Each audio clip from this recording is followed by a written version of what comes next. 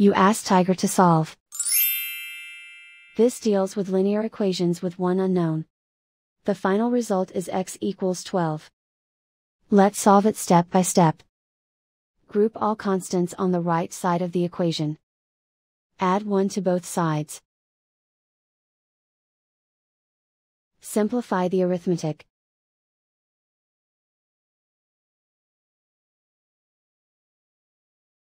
Isolate the x. Divide both sides by 2. Simplify the fraction. Find the greatest common factor of the numerator and denominator.